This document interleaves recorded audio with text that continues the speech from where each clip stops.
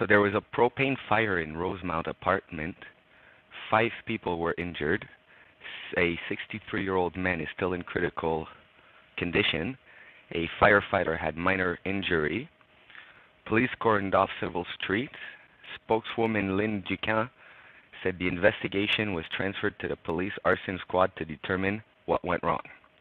The initial cause would be a propane tank explosion, causing a fire that was quickly controlled by the firemen.